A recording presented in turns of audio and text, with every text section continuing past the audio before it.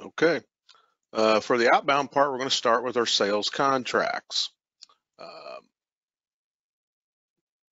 open up the outbound part of the menu and open sales contracts in. And you can see just like on the, there's a lot of similarity between the sales contract and the purchase contract. So I won't spend a lot of time going through all of it. But if you, um, you can see our existing contracts that are out there. So we can open it up and we have some choice of the primary difference between the two is, you know, you have the same types of contracts, but the first thing you see here uh, is that we can have load contracts. So on the sales side, we can define that a contract is for, in this example, 25 loads. So what that means in our system, if it's a load contract that, you know, if it's 25 loads, we've estimated thousand bushels a load in our example. So it's for positioning purposes, we're throwing 25,000 bushels onto the contract total, but 25 loads will fill the contract. It may be more than 25,000, it may be less, but the contract isn't filled until we get 25 loads shipped against it. So that's our idea of load contract. And of course, we have the same information, um, you know, delivery periods, so you can have multiple delivery periods in that. Um, but one thing we add a little bit more and, and, emphasize a little more on the sales side is a ship to address. You can see a ship to address defined there, and and you can do that by delivery period if you choose to. And we also have an option down here for an alternate delivery pricing. And what that does is if I add a line here and I go to a ship from address, so you can see ADM in our example has multiple addresses out here.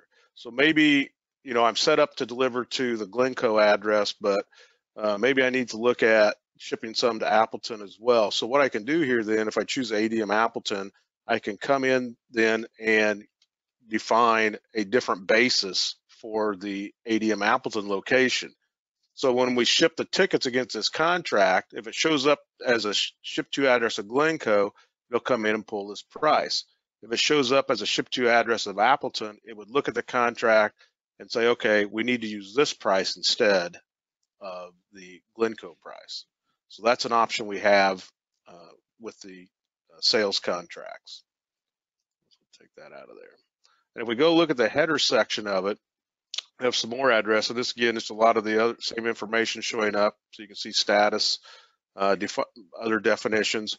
But underneath addresses, then we also have uh, where we ship from address, a ship to name, an address, and then a fob name. So you can have three different addresses that can all be the same or all be different, depending on how you set uh, sold this grain and what your negotiation process was uh, when you did it. So uh, those are all the variations to the sales contract other than the purchase contract you saw earlier.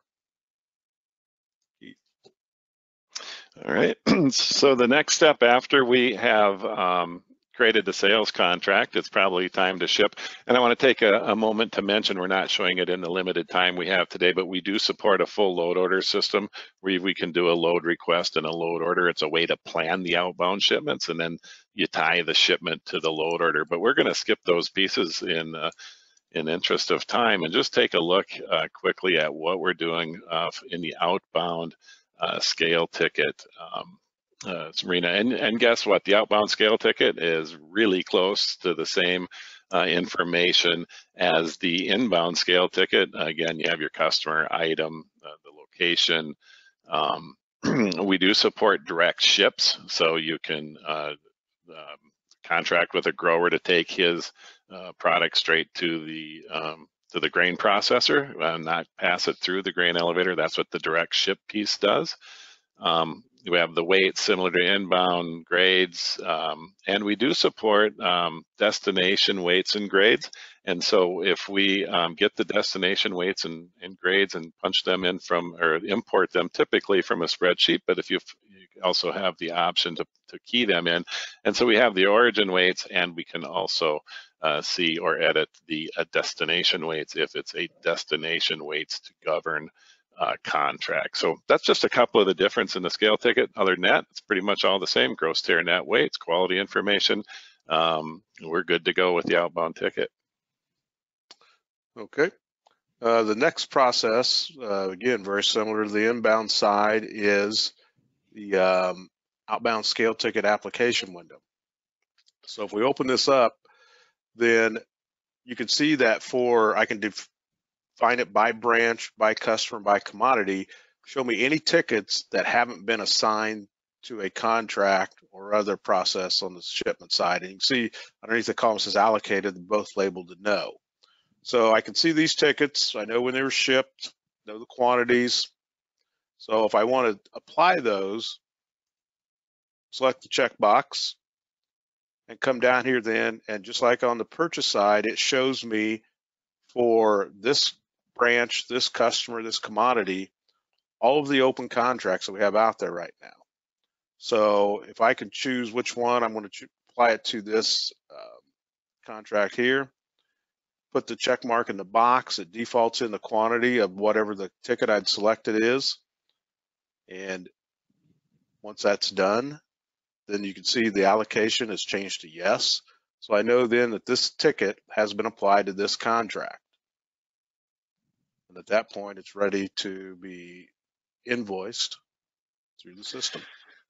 Awesome. So the invoicing um, is a screen you go to under uh, grain ship, not invoice. So uh, since we've applied um, all those scale tickets to contracts, now the system knows that hey, we have some um, some tickets here we need to uh, invoice, create a sales invoice for. And so th there's um, a lot of times the customer may send you if it's an ADM or, or CHS or um, they might send you a settlement sheet that you're trying to match. Otherwise, you're just creating the invoice uh, on your own and they they match you. So what we see here is a list of all the outbound scale tickets, um, actually a summary list by branch and customer and commodity and then how long these tickets have been in there as the, the earliest ticket uh, since it's been ready to invoice. So you can see this one here to BOA, that's 166 days old. We should have invoiced that a long time ago.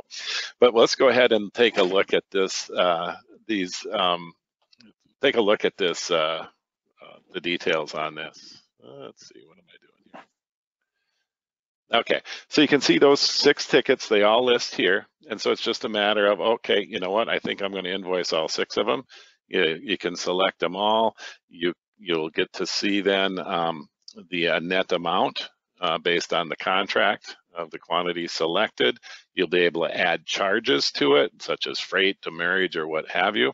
And you just simply select the tickets, um, see what the, uh, if there's any other charges, and then uh, simply hit the invoice button here and it creates a Dynamics 365 sales invoice then that can be uh, where payments can get applied uh, and and settled uh, from there.